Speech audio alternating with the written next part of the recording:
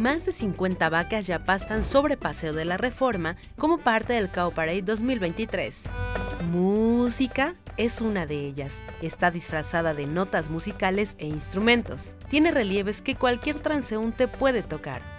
Se me hizo bastante como gracioso eso de la música, por en cuestión de, del sonido.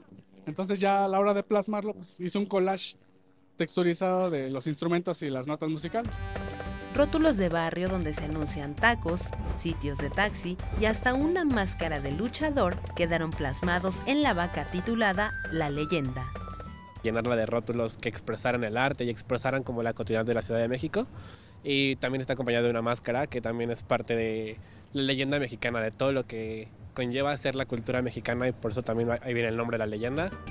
José Gallegos vino a pasar sus vacaciones a la Ciudad de México. Este niño de Guanajuato se llevó una sorpresa al encontrar vacas coloridas. No me esperaba encontrar unas vacas. Durante el recorrido los asistentes podrán encontrarse con piezas como esta, el carrusel, en el que incluso se pueden subir en ella.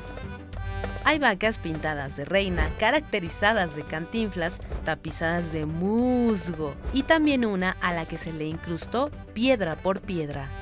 Para Paul Sarkin, presidente del Cow Parade México, es una oportunidad para dar visibilidad a artistas conocidos y emergentes. Vacas pintadas por artistas en el Paseo de la Reforma, donde hacemos una convocatoria. Traemos artistas, escogemos, hacemos un panel de un jurado, escogemos las vacas, se las mandamos, las intervienen y aquí están las vacas en, pastando durante un mes aquí en la Reforma en la Ciudad de México el Cow Parade 2023 estará en Paseo de la Reforma hasta el 3 de septiembre. Con imágenes de Gregorio Álvarez con uno, Paola Olivares.